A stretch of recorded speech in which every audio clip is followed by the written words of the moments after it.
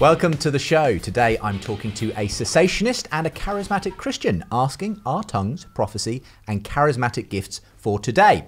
Andrew Wilson is a church leader and theologian who believes the charismatic gifts of the Spirit continue in the church today. His new book, Spirit and Sacrament An Invitation to Eucharismatic Worship, seeks to show the value of bringing tradition, liturgy, and Eucharist together with the dynamic power of the gifts of the Spirit.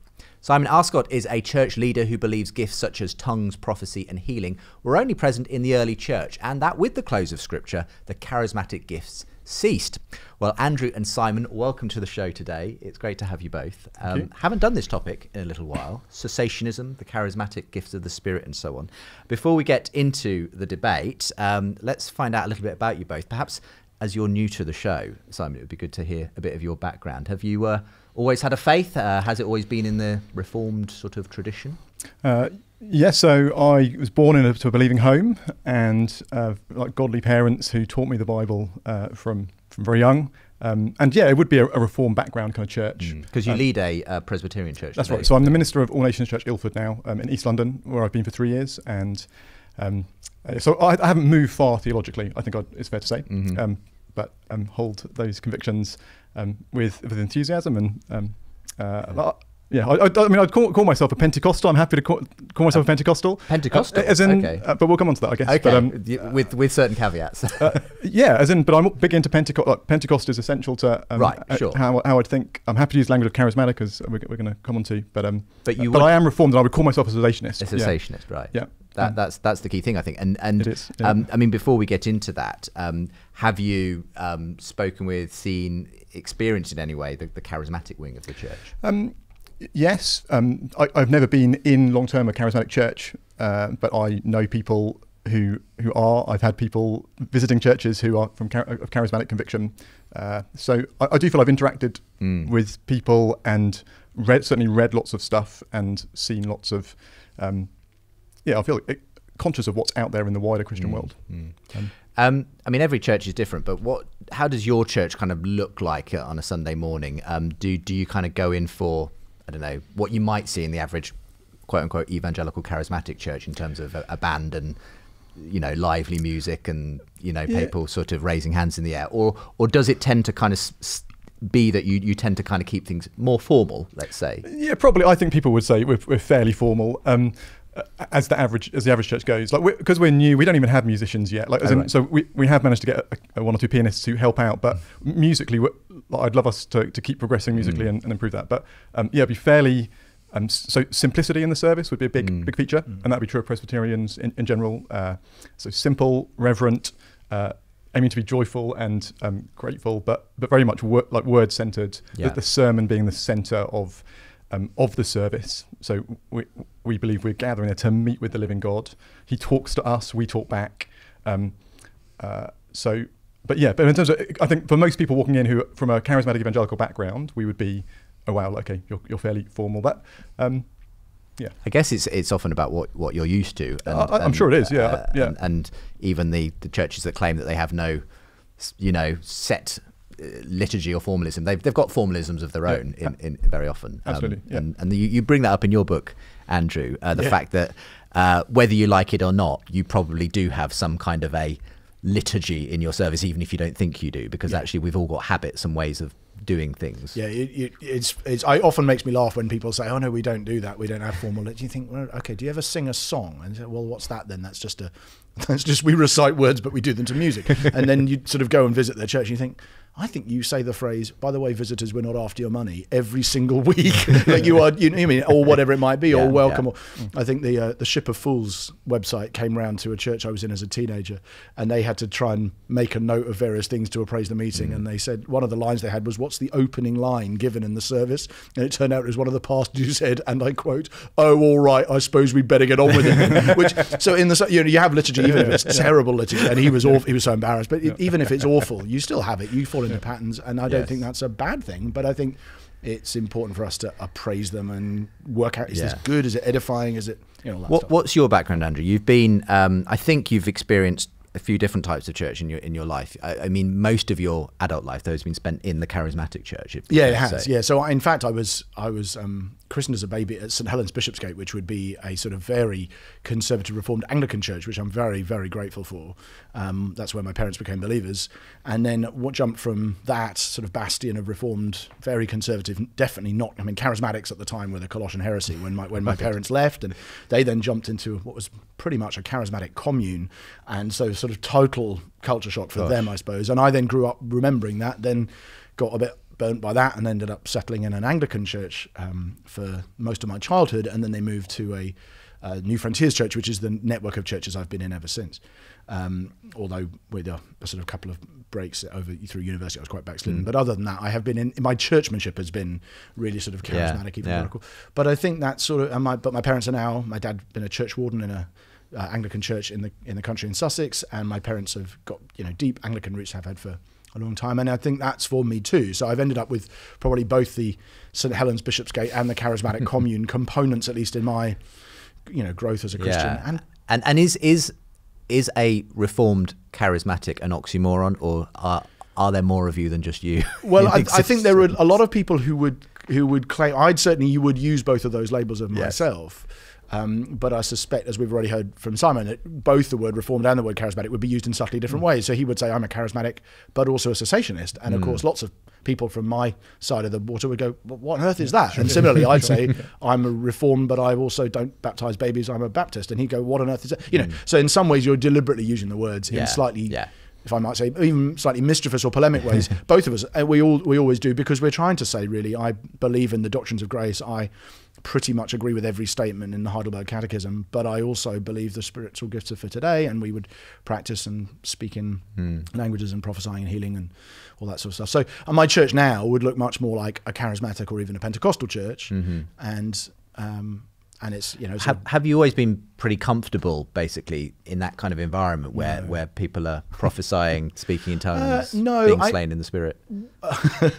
like just drop that in at the end of the sentence. I mean, I have. I- I think I was a teenager when, if listeners are familiar with the sort of what's was the Toronto thing or whatever you call it, was Mm, in the kind of mid nineties, Uh, yeah. yeah, and and found the whole thing sometimes very uh, emotionally cathartic, sometimes extremely bizarre, sometimes Mm-hmm. very. I just didn't really know quite what to make of it. Sometimes jumped in, sometimes Mm. you know it's kind of frightening, scary, and then has since gone on from there.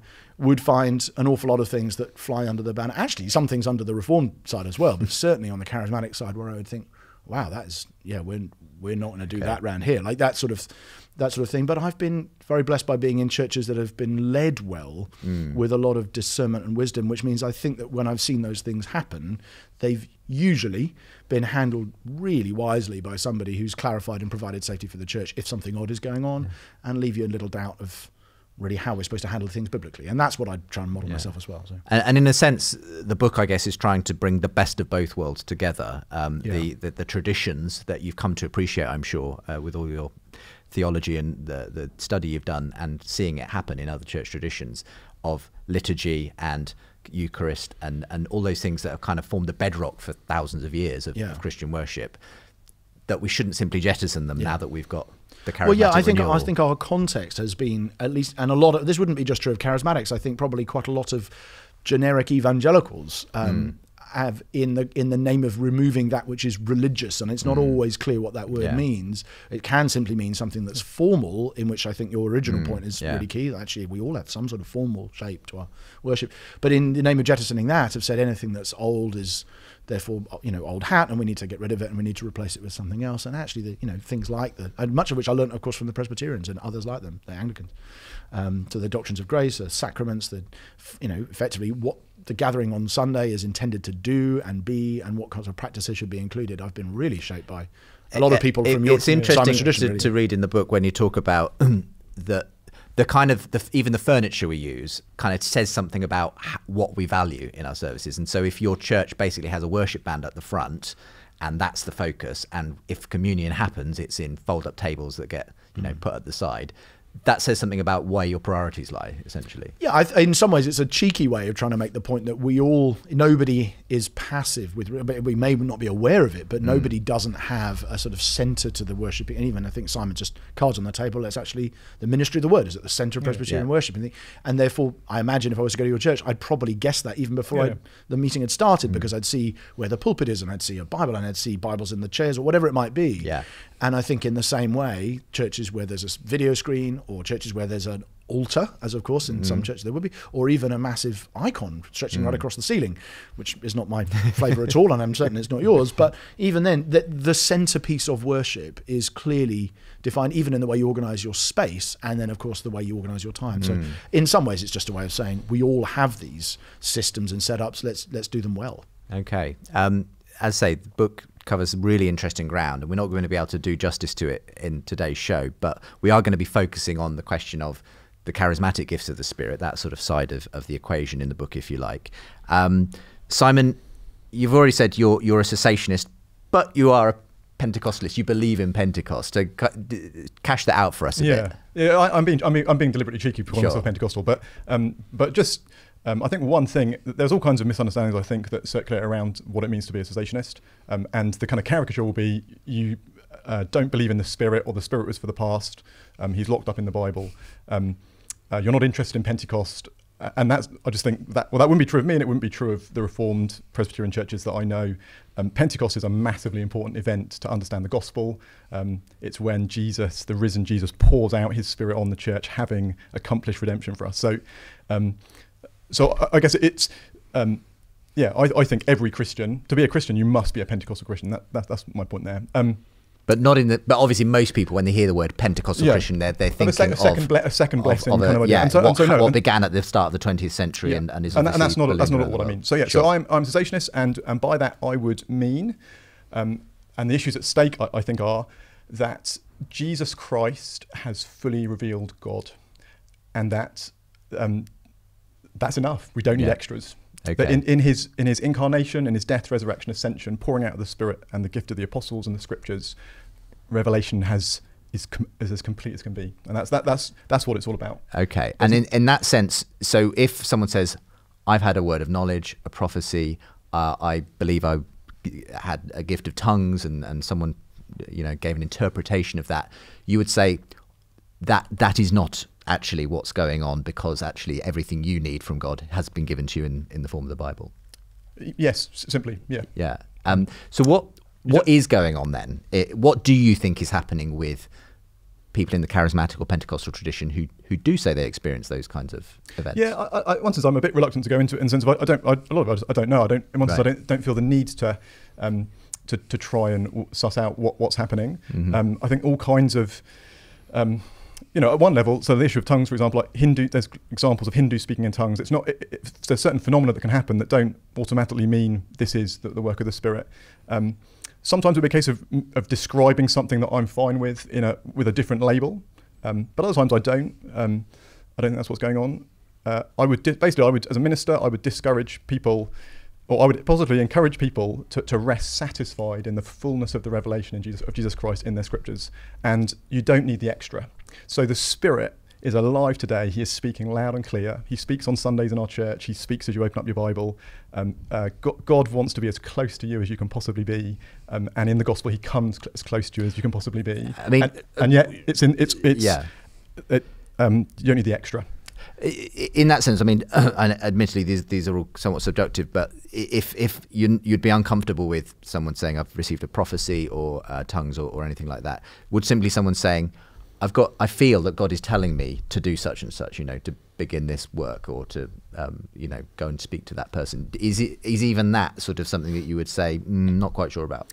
Um, I, I think that kind of language one should be careful with. I think um, it can be misused. It can be an unhelpful way of talking. I, I'm certainly happy. I mean, God, God talks to me. God, God leads me. So, um.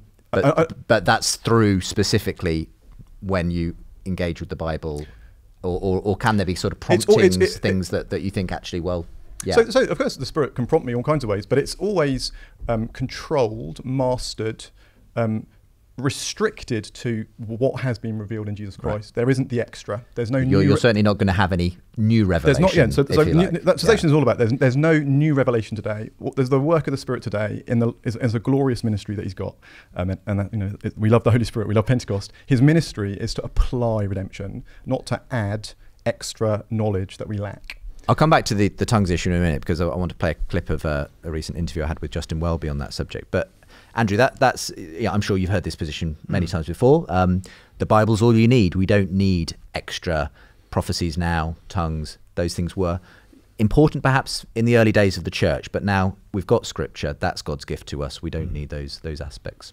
Well, I obviously agree with, as you know, I'm going to say, I agree with actually quite a lot of that. Um, I don't agree with it all, and I think the difference is important, which is why we're here. Mm. But I think in in many ways I'd want to affirm that. It certainly as it comes to the doctrine of redemption, I certainly don't think there's anything relating to the work of Christ, relating to the doctrines, that effectively the doctrinal content of Christianity.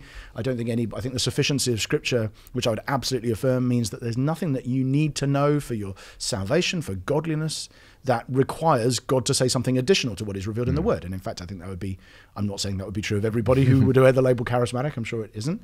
Um, but that's but the would, broad consensus, yeah, it yes. Would, yes, it would be. And certainly amongst anybody who would realistically come on yeah. a program like this to discuss it, I, okay. I think, you know.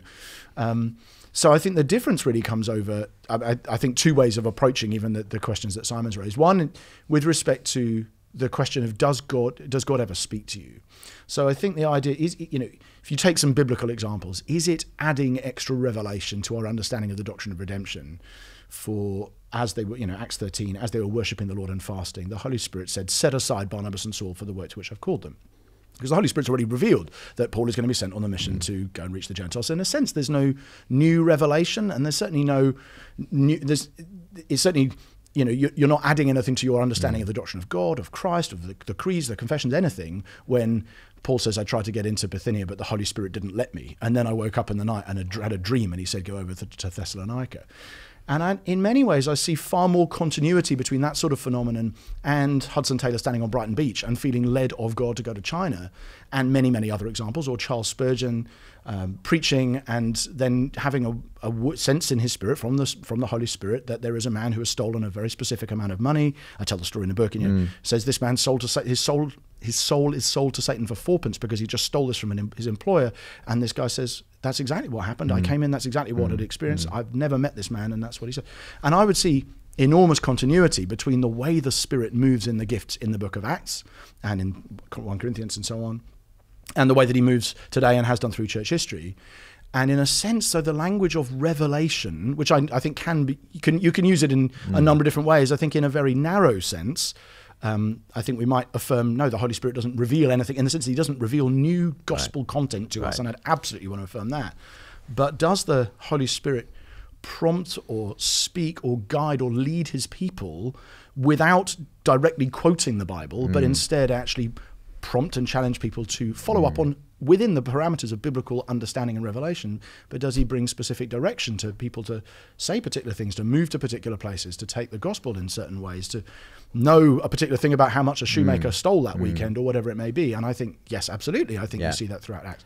So that's the main the main thing is I think we're probably there's a terminological we could get stuck on the word revelation, yeah. but I think what that word means, if I mean in the narrow sense, I don't think it continues, but in the broader sense, I definitely do. Um, and so that would be for me probably an important. Yeah. So yeah, I mean, I'm using that language deliberately, and that's I, I want to explore it. So I would have all kinds of questions about what you mean by the sufficiency of Scripture.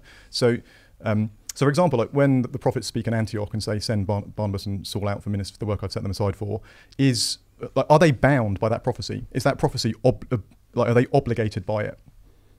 I think well, the answer they, is yeah. They, o- they obey it clearly. I mean, it depends but, what you mean by obligated. You, so, so, I mean, it, would they be sinning if they disobeyed yeah, it? Yeah. Yes, I think they would. And, and, I, and, I, agree. So, um, and and uh, the whole one, I'd say, needs to be alert in Acts um, Acts 13, actually that, that first missionary journey of Paul is, is of epical significance. It's, it's fulfilling things in Isaiah in terms of Christ going as a light to the nations. Um, that, that sending of, of uh, Paul and Barnabas out is immensely significant for the early church and its understanding of, of who they are. Yeah. Um, and and, and that co- so that kind of prophecy, like I mean, so that that happened, and yet when that kind of prophecy happens, you are obligated. The Christian is obligated to listen to the prophet of God. And the examples of things like Spurgeon and stuff, like I think, like absolutely, there's all kinds of like God works, it moves in mysterious ways, you know. And but Spurgeon was not encouraging people to pursue the gift of prophecy, and, and he wasn't he wasn't saying this is a that gift um, is is something that the New Testament church, ne- that the current church needs to be exploring and pursuing. Mm. So, so the, I think.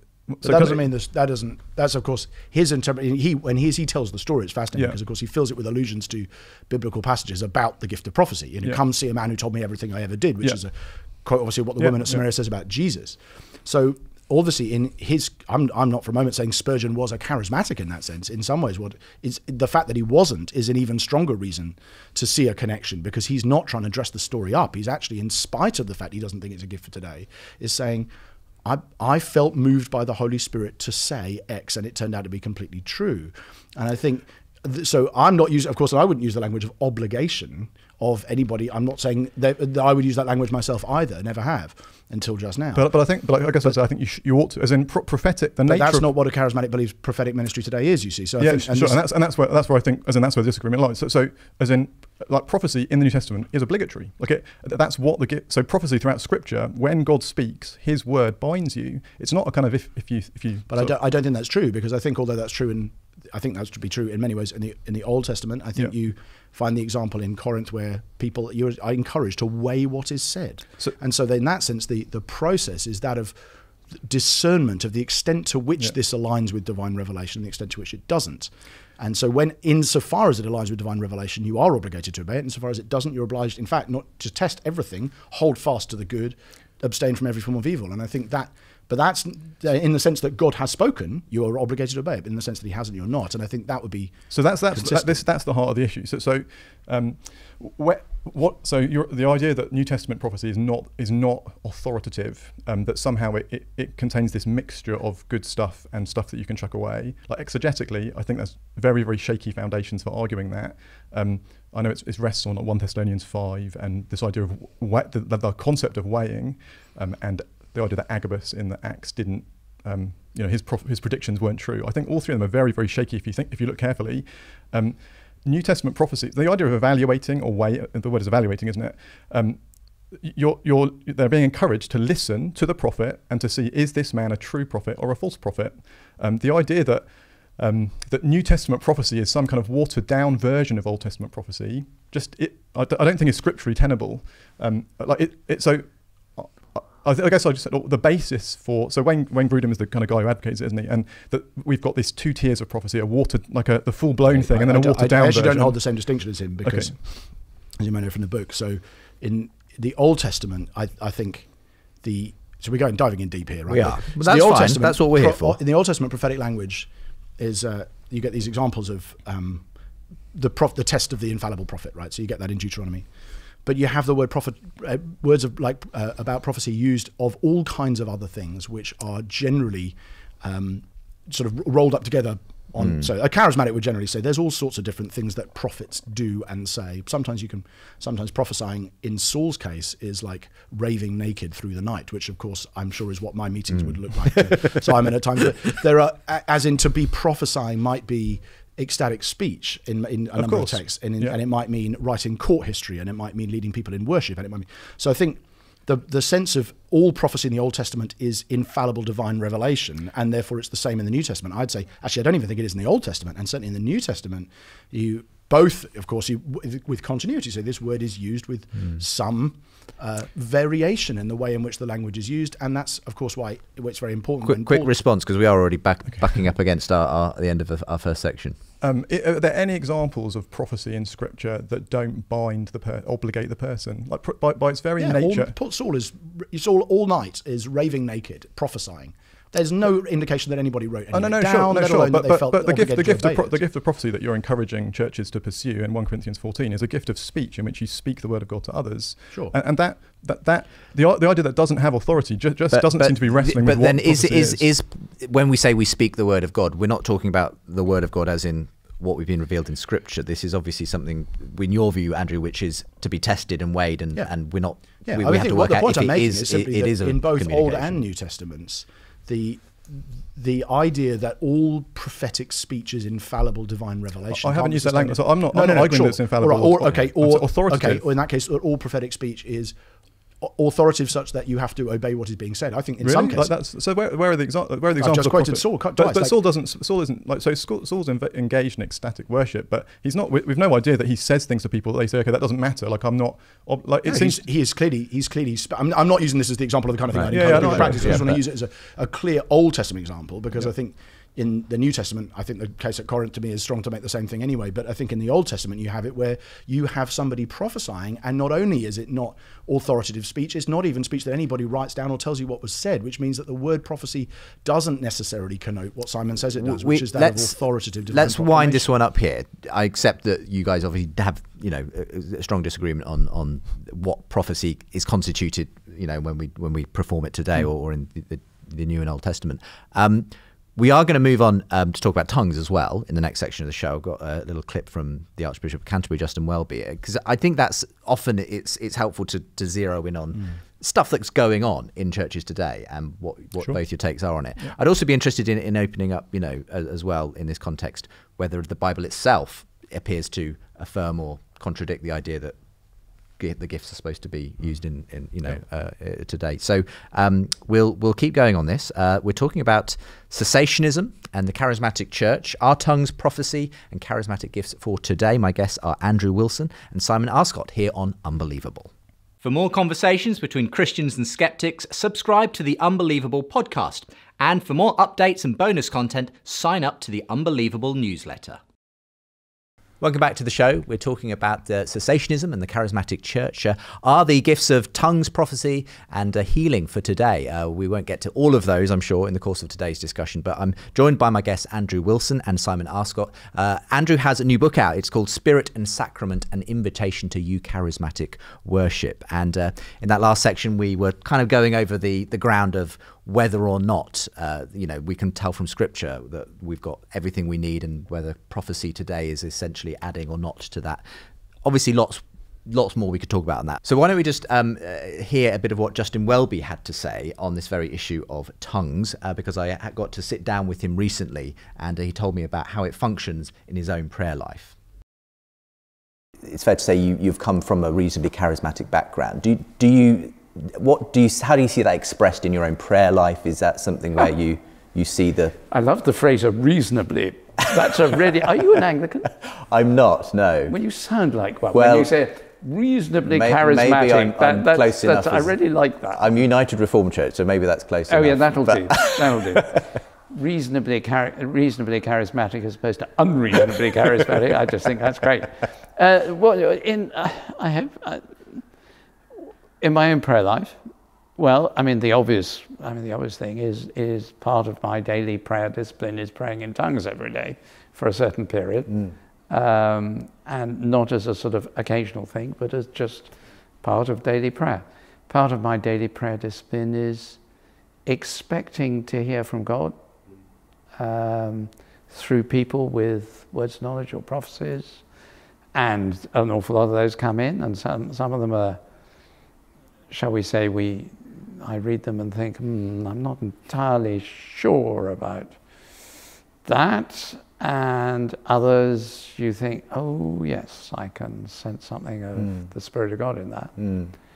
But these are, I think, the danger with putting charismatic as a sort of tribal category within the church is first of all, all Christians are filled with the Spirit. Hmm. Paul is perfectly clear that, about that uh, in Romans. Secondly, um, so everyone is a charismatic. Every Christian is a charismatic in one sense. Secondly, some of the things that historically charismatics are, you know, we do healing. Yeah, the church has always done healing. Uh, the charismatic and non charismatic bits pray for healing, anoint for healing, lay hands for healing. Um, so I'm cautious about turning it into a tribal thing. Absolutely. I mean, I can imagine though, I mean, many Christians will have exactly the same experience and it'd be unremarkable speaking in tongues. Yeah, The, the, I would say that for me. I mean, it's very seldom ecstatic. it is, but you can imagine some people who aren't familiar with that being, gosh, does the Archbishop of Canterbury pray in tongues?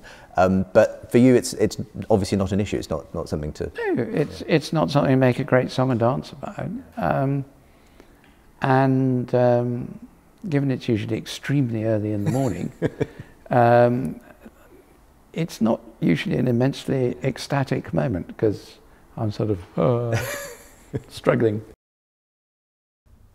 So, uh, just a clip from that interview with Justin Welby um, spe- uh, on on his own practice of, of, speaking in tongues, which made you know a number of newspapers pick that up, and uh, it was reported widely.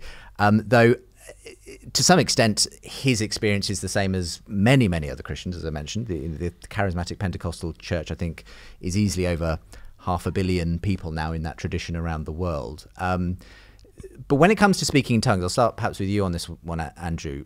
Have you done that yourself? Oh yeah. Uh, and what's going on for you when that happens? So I think um, this is where, I, if using biblical categories to explain it, I'm not sure that this is always the same as the you know what's cognitively mm. happening when you first, I think I first spoke in languages when I was I tend to say languages because it sounds less it took me a long time to realize that oh for a thousand tongues to sing didn't mean oh for a thousand red muscles in your mouth. I thought I, I thought well meant, that's new I, on me as well so, I didn't so, realize it didn't mean so languages the, so I, have just the penny has just dropped for me as well so so don't feel bad so I tend to use languages just to avoid confusion but um, I probably first did, did that when I was 13 or 14, and I don't know that I understood all the arguments from 1 Corinthians when I did. But so, so to me, I think this is where, where Paul is describing the practice of the church together, and he says, you, if you speak in languages, you build up yourself. And the reason why you should prophesy in the congregation rather than speaking in languages without interpreting it is because prophecy edifies others, whereas the gift of languages edifies yourself. And then he says, I thank God that I speak in tongues more than all of you. Um, but I'd rather in the church speak prophetically than mm-hmm. 10,000 words in a language. And I think that to me is just a really helpful framework. There's, he says lots of other things there, but a, a, very helpful framework for thinking this is a spiritual gift that is pr- actually primarily given in, in the Corinthian sense, obviously there's the day of Pentecost version, if you like, mm. but in the Corinthian sense, and what Paul is saying in his own practice is something he does on his own. This is not something he does to preach the gospel to people who don't speak the same language as him, as it happens in the book of Acts. It might be manifest that way today, and it's uh, and it often does, but in my case, it that's not been the gift at all. It's mm. been that of effectively edifying yourself by in and through prayer. Uh, in and the process, I know this often is probably used in private. difficult to put into words exactly, but what what what's happening to you or in your spirit or whatever um, when when you speak in la- those kind of private prayer languages almost um, what what what's kind of happening so I think a, a mixture of of of joy, of, of prayer. Paul also uses it gives important directions on it. So it says, "I will pray with my spirit, but I'll also pray with my mind." So what mm. happens is, as, as, I'm vocalizing and speaking in languages, I'm also mm. my mind is meditating on biblical truths, but I'm articulating often things in effectively that what I but obviously I regard it as a spiritual language mm. without necessarily using words which have meanings in another language, but I'm using my mind to reflect on the truths about which I'm praying. Um, and that brings a certain sense of joy. I think the analogy I like that Terry Virgo uses is said it's like when you, we turn on the shower and you have to it's sort of running cold for the first mm. minute or so, and then it eventually runs hot. And I find something which I think is what Justin's saying in that clip that at a pra- that's not a biblical observation, yeah. just a practical one. I think it happens in prayer in English yeah. as well sometimes actually that you end up re- saying something and praying it. And it doesn't feel true as as right. you begin to speak, but I think that, to be honest, can happen in prayer in any language. But that's certainly what happens often for I, me in language. I've heard well. other people who have spoken of their their use of the um, praying in tongues, uh, saying it's almost like a for them a, a shortcut almost uh, to coming into the presence of God in some sort of way that sort of resets their mind. It, it kind of gives them a, a, a, sort of access in a way that perhaps just yeah. I suppose I don't, I don't having think to I would use really, the, the kind of I don't experientially argue for it or no. even think about it in that way. I and I think I, I put, what will often happen is in a in sort of in a prayer context where I'm interceding for something where I will often have it feel like I've run out of English words and I worry that I'm repeating myself in English. I will mm. often then pray in languages for a bit while continually reflect and, ask, right. and asking God, and I will actually blend in and out of them. Again, I'm not that practice. I don't yeah, think yeah. is. I'm not saying it's. I don't think it's biblical or non-biblical. I just think it probably Paul doesn't elaborate really on how it works much of the time. But I think in that in 1 Corinthians 14 in particular, he gives quite extended guidance about how to use the gift wisely, and so that's what mm. I've attempted to do, and that's mm. the way it would basically, which I think overlaps with what Justin was saying in that interview. Now, Simon, I know despite your significant disagreements with, with Andrew on this subject, you've mm. got a great deal of respect for his scholarship and oh, know, yeah. theology and everything else.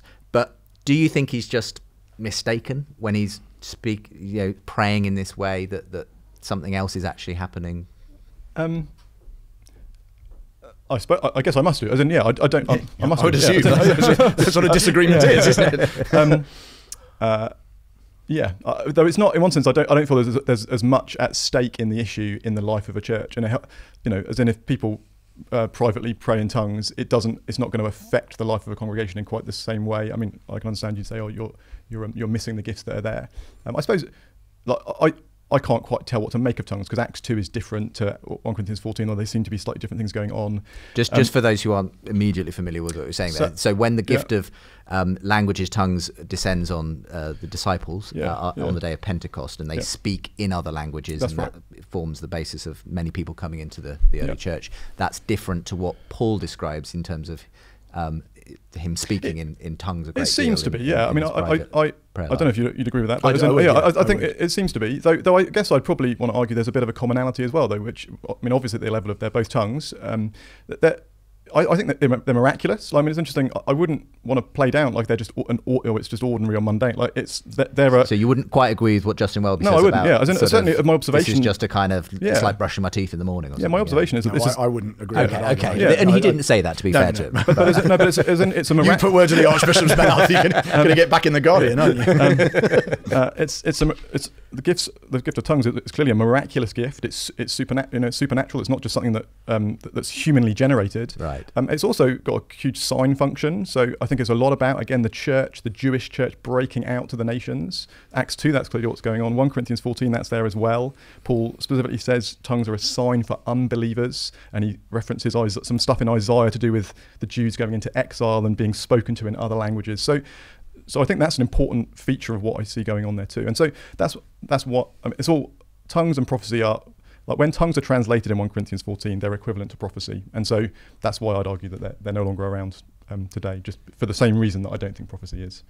Andrew. Yeah, I don't. Yeah, I don't agree that they are equivalent to prophecy in that sense. I think tongues, he uses the language of prophecy, use the language of speech. He does occasionally use the language of obviously of revelation, whereas with tongues he uses the language of prayer, uh, or even if I will sing with my spirit or I will sing with my mind. So I think the idea that this is, I think, I don't want. I'm, some charismatics, of course, have gone the other way and said actually all tongue speaking is vertical to God mm. rather than horizontal. I wouldn't mm. quite go that far, mm. um, but And- I don't and think the idea have that, even- I don't think tongue speaking is horizontal in the sense that I'm speaking to try and instruct you on behalf of God. That actually Paul's language of it. This this is a language I use for prayer and for song and for worship, which is if primarily going upwards. I wouldn't want to constrain it and therefore say it can't have any relevance to people horizontally. But I think that's the way that Paul speaks about it. So I think there is, actually there is so you don't think that when it's interpreted, it has the same status as prophecy in 1 Corinthians 14? I just don't think it's the same sort of thing. I think it's this equivalent of me praying. At, so if I was to, the analogy I'd use, and of course I've, I've seen this happen, is where you have uh, somebody speaks in languages and is praying in a, and what in one case I was, you know, in a couple of years ago, praying in a tribal language, a white girl praying, praying in a tribal language that a nearby girl in the meeting uh, hears and understands. How do you know, know to speak my tribal language? It's an African language. And, she said, I've never learned to speak it at all. But so I think that kind of thing happens. But in the sense, so to translate it, but she's not necessarily therefore prophesying if she was to translate it. What she'd be doing is explaining the meaning of the prayer that she just offered up. And I think Paul's concern is less to do with making sure everybody hears what the word of the Lord through that language is, but rather to make sure that you don't have someone babbling in a language no one understands and not being edified by it. Because it's effectively like, tran- it might be the equivalent of translating a prayer from another language, for instance. So in, in your local church setting, let's say, Andrew, um, say that tongues is manifesting in a service that there's things, um, you know, people are. You know when you say the phrase "tongues is manifesting," it instantly sounds it- bizarre. It, makes it sound like there's demonic activity. I sorry, bad choice of But, you words. know, I know what you mean, yeah. But um, say, let's say people are singing in tongues, you know, um, as as they're worshiping.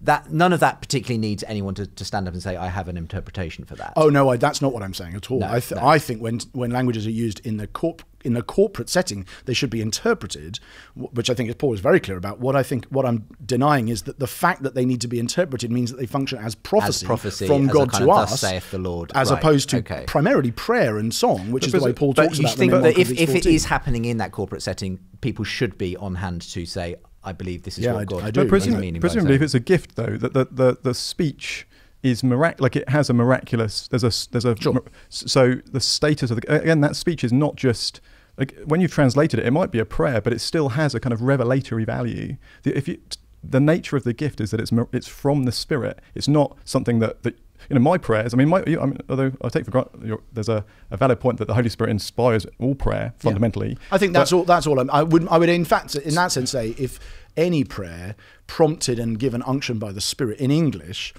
The, I, and this is again back to the point we were making before about you see I think your your use and my use of revelation are probably slightly one of them I'm not sure which is broader or narrow but I think hmm. you're using the word revelation in a way that ties it specifically to the the word of God, such as could almost be added to the canon or something. And I don't use the word that way, and so I don't regard my prayers, which are spirit prompted, as being of revelation in the sense that you know the book of James is revelation, but I nevertheless believe that it is spirit prompted and so in that sense I'd say the same about languages as I would about prophecy. And you would say your English prayers are, in that sense, spirit prompted, animated, or prompted, or provoked. Absolutely, or as, yeah, not, not, as in, as in eh, all. You, one yeah. cannot pray to God the Father through the Son without the Spirit um, no, generating that. As in, all that, that's what it means to, to be in fellowship so with God. I think to interpret in that sense a language, in in the sense of speaking in tongues, is actually not at all dissimilar to what would happen if I was in a French-speaking service, and, and, I have done, of course, and someone leans over and explains to me what's being said in French and, and translates it. That doesn't mean it's got I, revelatory content. But I still, it I feel like I wouldn't understand it if they didn't.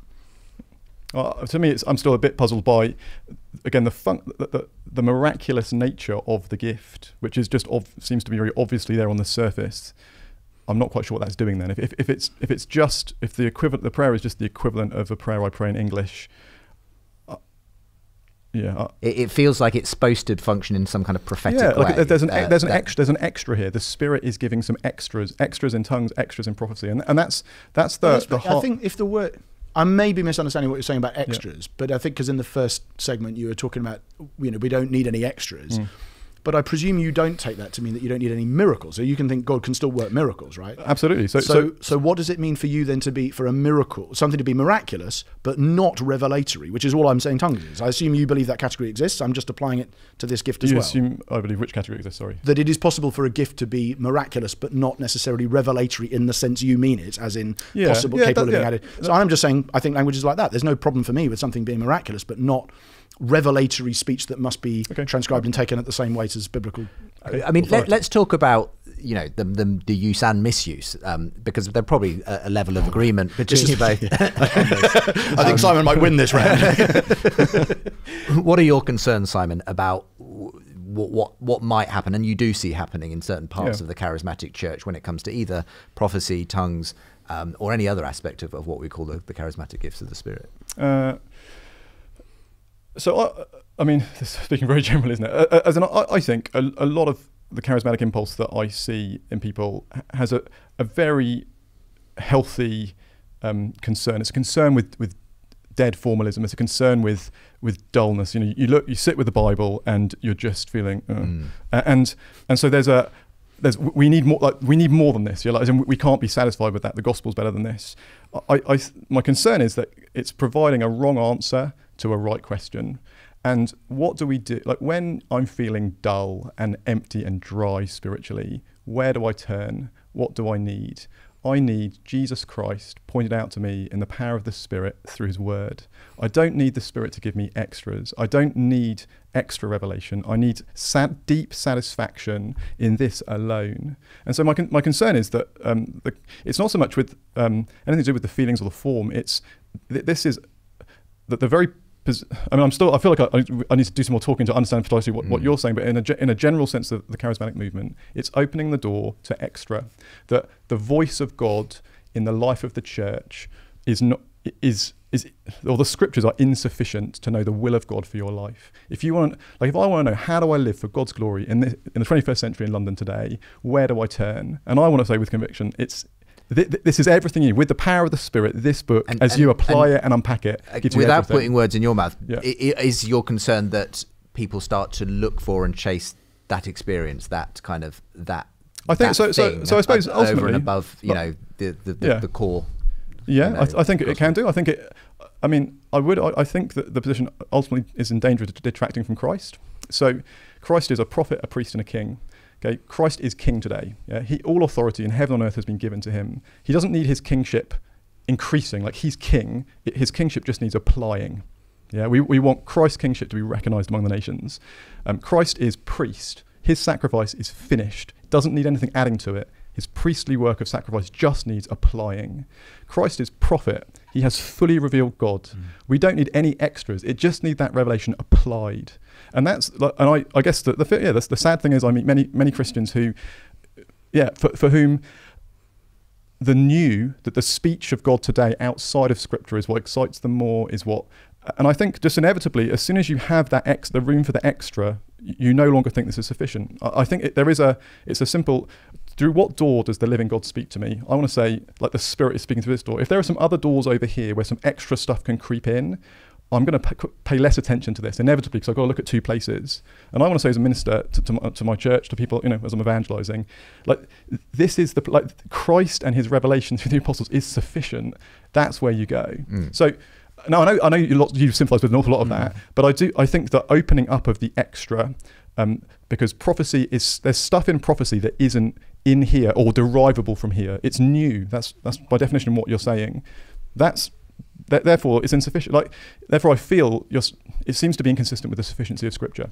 I mean, we, we won't go over the, the issue of whether or not prophecy quite functions in that way again, but I, I guess you can agree that there are obviously instances in which people go off, you know, sail oh, yeah. off in, yeah. you know, all, all the, kinds all, of directions. All the time. Not... And, and that actually, so to me, is, is a really important argument for biblically teaching through. Mm you know, not that they're the only chapters in the Bible, but 1 Corinthians 12 to 14, which in a charismatic context is something we, you know, I mean, in fact, we just did a series on the nature of being filled and receiving the Holy Spirit in this last month. Um, and we do four Sundays teaching that through, and probably were Simon to have heard it, have agreed with almost all mm. of it. And I think we're trying to guide and lead people in that.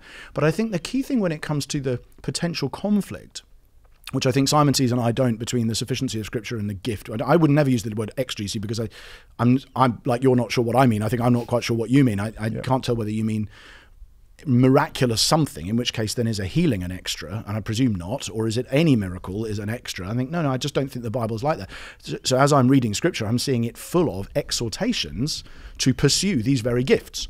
So where I where I would go, of course, the positive. I'm making at the moment making a bit of a defensive case, mm. like how would I mm. defend yeah. this or that? But I think the positive case is to go and say the very Bible, which I regard as sufficient for salvation, is the the Bible which says eagerly desire to prophesy, eagerly desire, pursue. If anybody has a gift, let them use them. If it is prophecy in proportion to your faith, so I think I've got five or six texts where Paul exhorts his churches to pursue the gift, mm. and then gives them a lot of clarity about how you should exercise those gifts without being foolish or without getting sidetracked. Because I share exactly that concern pastorally. There's plenty of people who get distracted which, to be honest, I don't think is unique to the charismatic and, church. And I think you can get that yeah. in the Roman Catholic Church, uh, can get it in probably Every church well. has its has its Somewhere. excesses. So I think the point is, I think to say I think that might open another door. I'd say, well, to be honest, that danger is always at risk unless the only thing you ever do as a Christian is read the Bible, which is, not true for none of us. There's always a risk of that. So what I think you need, rather than no, we don't do that, is to say, here's how we practice this biblically and wisely in such a way that leads us to Jesus. No one can say Jesus is Lord except by the Spirit. This, that's what Paul, of course, does. And so he uses his teaching on prophecy and languages in order to draw people towards Christ. And that's what I would try and do as well. So, so just help me out in terms of understanding what you're saying. So when prophecy happens in your church, what, what, what, what status does it have? Like what, what? And give us an example, actually, because mm, I'm sure you must have some of, of where you believe there has been a a genuine, if you like. Okay, so an example that was that for me was very. Um, you know, very personally helpful, and this is so. This is uh, exactly where the role of discernment, I think, comes. You're effectively you're testing, right. aren't you? You're weighing. So I'm in a meeting um, with a group of other pastors, sort of 40 or 50 pastors at a, at a gathering. I just use this because it's a particularly good example in my own life. Okay. And uh, a guy who is um, recognized in our context as having a strong prophetic gift, like strong prophetic ministry, not just a, like any old person as it okay. happens somebody else has preached and it's opened up the word. He gets up and begins speaking prophetically to people, and he moves, points at one person in the room and says, "There's a um, what I think there's a Macedonian calling in your life. I think you're going to need to get ready to move. I think the Lord is going to get you to a place where you're going to need to move town somewhere else." And unbeknown to the prophet, but if you want to call him that, which I do, um, but known obviously to this guy, a month before he had been in another meeting where another prophetic person used the exact phrase, a Macedonian calling in your life, and he ends and he actually moved as a result and is still leading a church in that town now. Mm-hmm. And it was like you got to move west, and and that's what he did. He then the next the next person he goes around in a room full of pastors and says, "You, I believe the Lord is saying that you have been disappointed in your romantic relationships this last summer," and that's a pretty of a long yeah, shot in that's a pastor's a room. Specific, but it turns yeah. out that this guy had been engaged, and his engagement had broken up over that summer And as a result, he just burst into tears, of course, as you would, and people are going around and pray for him. And then he turns to me and he says, "I can see manuscript. I'm 25. No, I mean nobody. I'm not even started uh, 25, maybe 26. You probably hadn't Hardly even been started. unbelievable. I hadn't even been an unbelievable. But but interesting connection. This is how I first ended up on your show. Okay. Because he then brings this prophetic word and he said, I see manuscripts of your life. He said, an editor is going to approach you and you should write the book that is in your heart to write. And he'd had no way of knowing. No, I hadn't even told my the rest of my team. He didn't that- know you not particularly at all, well no. at this point, no. But that morning, I'd had an email from an editor saying, I've seen that article you wrote, Deluded by Dawkins, on your Hmm. website, and we'd like to publish it as a book. And then he goes on, and I, to be honest, after that, you're just so wowed yeah. by the whole thing, you just don't notice what the rest of the stuff is going on. There's lots of prayer. Now, I'm not. I'm telling. It's a good story because Right. there's three absolutely bang on, and I'm certainly not saying that that's always what happens because Sure. Simon and I both know it's not, and so do you. But what I'm saying is that what happens when that is said is that's not to say every single thing you said is infallibly true. Um, but it, or and I know that's not the word you, or even, or even that I feel necessarily that I am bound to obey everything you just hmm. said because you were accurate in the bits that I know about. Hmm.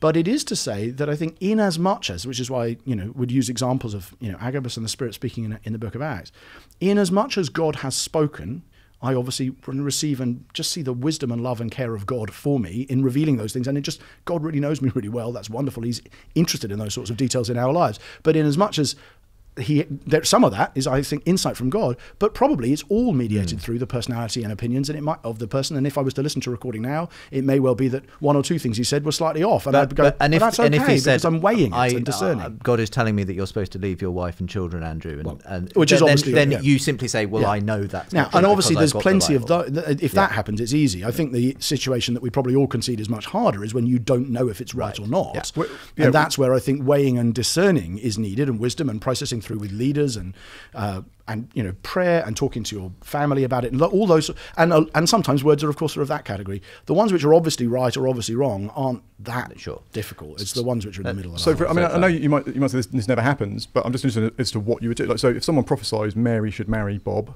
like, how, how, how, how do you evaluate so, that? Yeah. So I, in our movement of churches, we have, and I think in a lot of, I don't know, I'm going to use the word responsible charismatics, which may be an oxymoron, as in, but you would strongly discourage words of that form, which but is not to say that they cannot ever be right.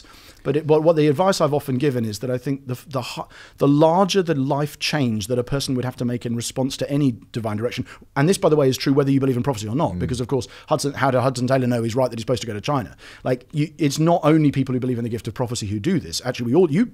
In fact, nearly said it in the conversation we had before. I like, felt led of God. People, we Yeah, all do that. Of course, we do. yeah, so, sure. so how do you know? And of course, my tests are the same as the tests that you would use, and in that sense, you are basically weighing it in very, very similar ways. But the- and therefore, you wouldn't have if you, if a word like that came in and you said, if the higher the bar needed for me to change my life, the higher the bar of proof, if you can call it that, or of wisdom or evidence or whatever that would need to be cleared for me to believe it was the right thing to do. It still seems quite str- like interesting that you can, as a movement, decide that this we're not receiving prophecies like this. Like if it's from God, if it's from God, like who, it's It's not quite the same as saying you're not receiving it. I think it's the saying that the bar goes up the larger the the larger the amount. I mean, and by the way, I don't want to represent a whole movement. Yeah, here. sure, There would yeah, be sure, others yeah. who wouldn't. Um, but uh, effectively, it's a burden of proof thing. That the burden of proof has to be higher to say you need to marry. That you know that that's a. There, are, I, I've got friends who would say that's what happened. But not necessarily even through prophetic ministry. Some I've got friends who are conservatives who would say, "I really felt God leading me to this." place so, but I think you would also rightly say, whether you're a conservative, a cessationist, a charismatic, you would always say, you know what? You want to test that more because that's a big, big bar to But clear." how, I guess uh, how do you, how does one test that? That's so if when something is beside scripture, when it's Hmm. not contained, revealed in it, how do you test it? In the sense of oh, like I think in the same ways you, but I think in the same ways you would. I think if you had somebody in your church who came up and said, "I really want to, I'm a, you know, I'm a dad of three, I'm married, I really want to throw in my career as a banker and become an actor." Sure, yeah. How would you? And and I feel like God's leading me in that direction, but he doesn't use any language of prophecy. I think you'd counsel him in the same way I would. I think you would, I think you would say, "Wow, there's a lot to think about there." And how's your wife feel about then- it? And so- you, so- are you sure this is your gift? And are you sure? How does the history of your life tie in with it? But You what do those? uh, So I get it, but at that point, it's like what that's that's not what New Testament prophecy is. Like, as in Agabus. So how would you evaluate Agabus saying? Just for those who haven't quite clued in on Okay, the. Agabus I- thing, because because you guys are uh, just just give us the context So of that. uh, This yeah, is this Agabus is, is a, is a prophet in the in the Book of Acts. Who there's a number of two or three prophecies that he gives. One of them is that there's going to be a famine, you know, c- coming, and he reports that to the churches, doesn't he? And um, like how.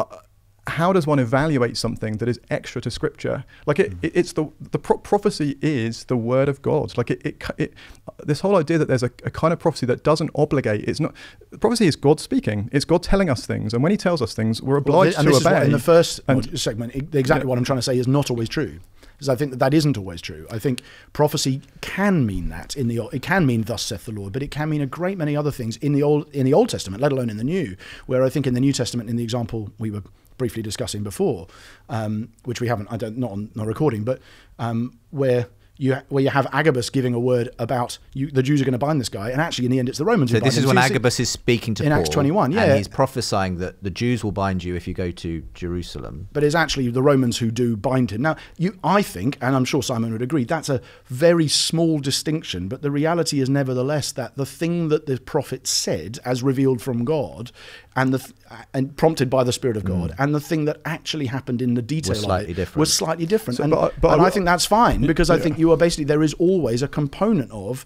divine revelation, but, insight, and a component of human interpretation, which might be wrong and so, often is. Yeah, I'd just be very uncomfortable with calling what Agabus said there erroneous. I, as in, I know you didn't use that word, but in terms of, you seem to be saying that somehow he's got it wrong, and I, as in, what he's saying there is what happened. Now, prophetic language obviously comes with metaphor, like as in, um, but I, I wouldn't want to attribute the, the this sort of idea of a discrepancy to, to, Agabus, like that's the nature of the prophetic word. Like Old Testament scripture functions like that.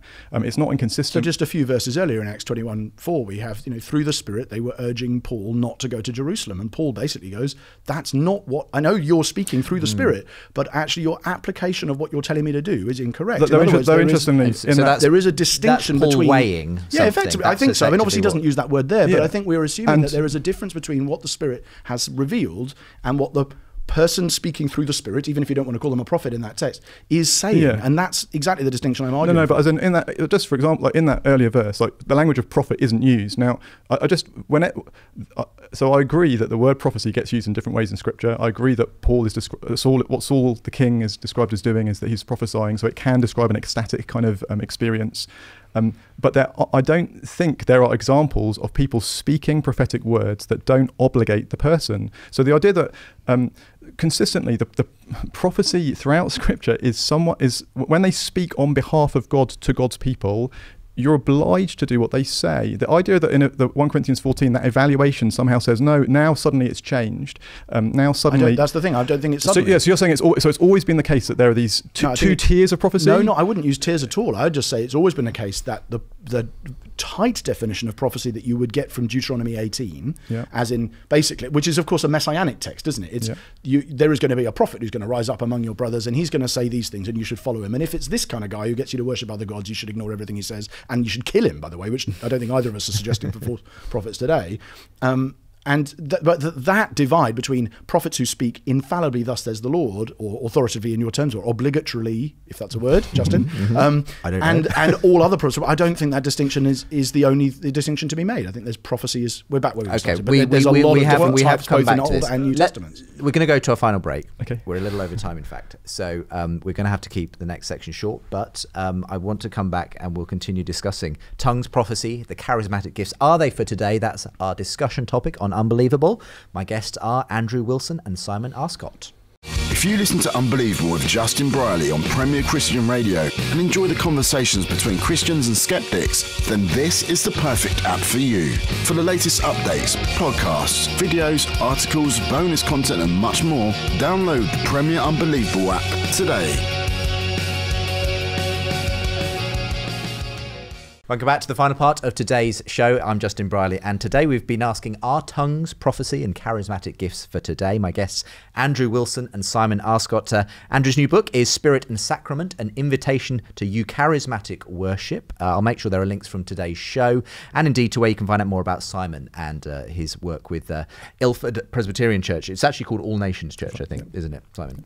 So um, it's been really interesting discussion. So much stuff that it would have been great to unpack further. I always never have enough time on this show. But um, I, I, suppose uh, on a practical level, one one question I would have for you, Andrew, is um, given that we do all know of when things do go off the rails and people start claiming this, that, and the other, and uh, and, and there's a lot of abuse of of the charismatic gifts in that way. How do we ensure that if your church does move in that way, that it doesn't fall into those traps. Uh, you know, false doctrine, very subjective opinions suddenly becoming this this is Mm. what God has for your life and and and even disorder, you know, I think a lot of people are, are concerned at seeing, you know, some of those things you see on YouTube where it just looks like everything's gone crazy and Yeah. and and it's no wonder then that people like John MacArthur and others and Simon, you know, say that can't be that can't be the church. That that's definitely not what, what what Paul was intending. Yeah. So I I think the answer is, of course, you know, which what you'd expect me to say, I suppose, which is that we practice the gifts according to biblical parameters, and we because I think it's the sufficient word of God that Simon and I and you treasure and love. That is that is that is the word that directs us to eagerly desire spiritual gifts, especially prophecy, and then to do it in the following ways and mindful of those things. And um, and then, so in a, in a the lovely thing about it is when you read the Bible, the passages which are most championing the need the need for the church to pursue the charismatic gifts are also the passages that are the most careful at stipulating all the things you must make sure you do and don't do when you practice them. Mm-hmm. So it's not like you have some biblical writers who are saying pursue spiritual gifts, go go go, and then with no constraints, and then other guys going, man, these this is a bit of a pig's ear. You to So it's there." evident even that back then in the early church there Yeah, were people who immediately started yeah. doing things that were evidently not. Well, not and the they're supposed to be Corinthians are, the original charismatics, and they're a, a basket case in so many ways, aren't they? And that's what we love about them. That's why I did my PhD on them because they are just such an in, interesting example of that phenomenon. But what's encouraging about that is it's not even like you know some doctrines where you would say well paul in romans is very good at securing people in their f- future's faith. Hebrews is very warningy and you've got to find a tension between two different writers. Um, it's not but that's not what's going on in in in Paul, what you have in Paul is at the points where he's most urging people to pursue the gifts. Go. If you have gifts, pursue them. Eagerly desire. Pursue, you know, zelute, like run after, seek hmm. after. That's also the exact same text where he says, and make sure you do it like this, this, this, and this. Don't allow that. Only two or three people hmm. doing it like this and in this way. And it's got to point to Jesus. And if you don't do that, and it's got to be hmm. motivated by love, like the one, the wedding chapter, you know. First if I speak in the tongue of yeah. men and of angels and have not love, you think that's not wasn't a wedding fodder homily initially. That was a, a way of saying this is how you should be charismatic. This is what you it's should all use about, the gifts this way. yeah. So I think in, in a way the lovely thing about it is that the texts that tell me to pursue the gifts, which I do wholeheartedly, are the very same texts that tell me these are all the things you've got to be careful you do and don't do when you're pursuing them. Otherwise you'll get led into lunacy. Um, having said all that, I, I know um, that there are plenty of Christians who are in principle fine with the idea of you know the gifts, um, prophecy, tongues, healing, but never actually happens in practice in their local church, uh, and they are not exactly. You couldn't accuse them of eagerly pursuing these gifts. What What's your advice for someone who's kind of says, "I I believe you, Andrew. It's just." The practice doesn't look anything like that in my I- situation. I, to be honest, I would concede it. I, I would I would admit it. I don't think I will try and defend uh, every. If this is what you're asking, I wouldn't try and defend every, or even perhaps even most. I haven't been to enough to know, but every example of charismatic worship and say, "Oh, don't worry, the good outweighs the bad," because I suspect sometimes that's not true, and I'm in fact I'm certain that sometimes it's not true. But, but what I'm in- really referring to is, is the person who says, I, I in principle believe that God does speak through Oh, I see. tongues, Right, okay. But um, we've never it never happens in my church, and I, to be honest, wouldn't know where to begin anyway. Ah, okay, yes. Um, I mean, do you do you think Paul's injunction to eagerly pursue applies to that person? I- I- Oh, every- everyone yes, should be I do. pursuing I do, and in fact, I think this is probably a- an amusing way in which Simon and I might disagree at the very, uh, might agree at the very end of this Okay. conversation, which is that the one position you can't really hold, in my view, is that the gifts are for today, but you shouldn't pursue them. And so I think I effectively I disagree with Simon, and he disagrees with me, but I'd go there's a great consistency and that- integrity yeah, to yeah. saying the gifts of effectively those gifts, not all of them, but those gifts have ceased, and we shouldn't pursue them. I think there's consistency and integrity to saying they know they have they continue, and you should pursue them. But to say I think they're still around, but I'm not going to do anything about that, I think that's the one position you That- really that's can't the, the, the one illogical position. Um, okay. Um, what about the person who is committed to the cessationist view, as you are, Simon, but uh, it can lead, you know, sometimes to a kind of dead formalism, uh, tra- tradition. Um, I think that's where people I've met who have become Christians, especially through a charismatic experience, have hmm. said, "Well, I grew up in this church or Yeah, that church. yeah. Never meant anything to me until I yeah. got zapped by the Holy Spirit and something hmm. amazing happened. It all fell into place, and now hmm. I'm, you know, there was this joy that I'd never experienced. And it's hard to, uh, at some level, deny that person's experience that brought them to that position. And I think that's that's sometimes the feeling is if you haven't got the charismatic kind of element, you're you're you're in danger of running into this this dead form of religion. Yeah. Um, I, I guess uh, you know, there is lots of dead religion around in the name of Christianity. Um, I actually don't think it's cessationist. I, I don't. I, I, wouldn't think that's a label they'd use to describe themselves. And actually, interestingly, in some, in the more kind of liberal wings of the church, they're very alert to, the, to God speaking today. Uh, large sections of the mainstream church are, are keen to hear the Spirit speaking today, not in a charismatic sense, but in a sense that, that this book isn't sufficient. We, we want more. So, as in, um, oh well, that may have been what they thought back then. But yeah. Now we know. Yeah, we, we need to listen to the Spirit okay. today, and and Right. what what he said back then is developing, and that's a very. So, so actually, I don't think there are loads of churches that, in a kind of um, in a thoughtful sort of understanding of the sense of the term would call themselves cessationists. But but like so, so I'm unconvinced that cessationism sort of leads towards formalism. But do I? Um, does every Christian face the danger of that? Like absolutely, people. My, if you are cessationist, there's a danger that you um, simply think that by reading the Bible and by learning lots about the Bible and filling your head with doctrine, you've grown in godliness. You've come to you know you're getting to know God. Um, so so I've, I'm very alert and want to kind of take seriously the the the danger of that. Um, the answer, though, um, I would say is is not to move away from scripture or to move to the extra stuff beyond scripture. It's to go deeper into scripture. that this book is the sword of the spirit. You know, th- this this book is a sharp two-edged sword. If you're opening the book and you're you're like you're, you're not Mm. reading it. uh, You're, Mm. you're not reading it properly. If if um, if you're spending time in the Word and you're dead, you need to press in harder. You need to pray for this filling of the Spirit to, to apply this book to you more, because the Saviour revealed here is alive and living, and these are the oracles of the living God. Um, so, so the answer to, to formalism is is to dig deeper into God's revelation of His Son Jesus, who is the beauty of the world. You know, so so that that's how I'd I'd want to push lean in, lean there, not not I need some extra oomph. If you know, if I'm looking for some extra oomph or some inject some excitement, maybe I need some new stuff. Maybe I need some new voices in my life, some new prophecy. Actually, this is this is all you need. Okay. Um, Can I ask to- one? Yes. A, my, my question. Go so on healing, which we haven't really touched. no, on, we haven't. Yeah. is that an you, you keep using this word extra, Mm. and I I don't think I still don't quite know what it is. Okay. It sounds, but it sounds suspiciously like at times to me like it means miracle or anything that isn't the Bible that God might do in the world today. Is is healing an extra in your definition, and therefore is it something where actually to get preoccupied with praying for the sick to be healed is something beyond Scripture? And if Yeah. yeah, Uh, That's, that's a helpful question. Um, and I want to emphasize, yes, cessationism is not about supernaturalism, it's about revelation. I think it's a bit a big, so interesting, the whole section in your book about angels and demons, I, I'm fully on board, as in angels and demons are real. Uh, and actually, however much we might struggle to, we have, like, they are real beings and we need to think much more about them. And that's nothing to do with cessationism. No, no, no, yeah, no, uh, I- so- I- so- I know. Yeah, and so does God heal? Absolutely. Are we told to pray for healing in James 5? Yes, we are. The elders of the church are to pray for healing. So, so um, why is that not an? So that's what I'm trying to. ask. Why is that not an extra? uh, that because it doesn't involve revelation. Yeah, so, so the, the, what when so the language of cessationism, at least as I understand it, comes from um, the Westminster Confession of Faith, paragraph one, the first chapter. The former ways in which God revealed Himself have now ceased. That's Hebrews one language. Like God revealed Himself in different ways. Now He has spoken in the climax in His Son Jesus, and with with the unpacking, having acted in Christ, and then that being interpreted by the old by the New Testament apostles and prophets and and canonized, th- that that's what you've got.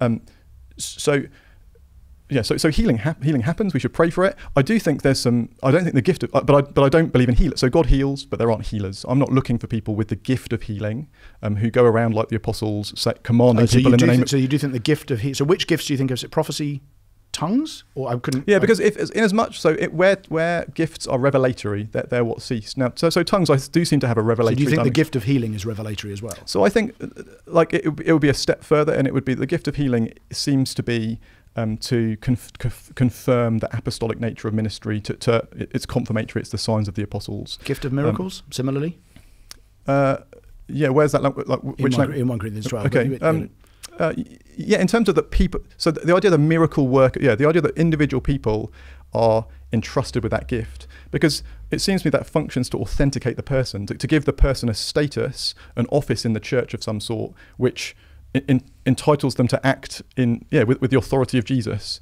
Um, that that seems to be what's happening. So, um, but I think it's, it's, it's a, it would be very unhealthy, as in, it's very unhealthy to start thinking um, the move away from. So if I'm saying there, aren't, there isn't the gift of healing, there aren't people who are given the, the power to heal, um, that somehow I'm anti-supernaturalist, or that, that somehow God is removed or reduced from this world. Like He upholds everything by the word of His power. So That's obviously not what you're saying, but it's it's been really interesting parsing this out between you both. Thank you very much. Um, as I say, first time in a while we've done this issue, uh, but I think uh, you both really brought both your points of view really across really well and graciously. Thank you very much, and uh, Thank thank, you you, Andrew. us. Thank, you for you, having me. Simon, Yeah, being on the show today. Yeah.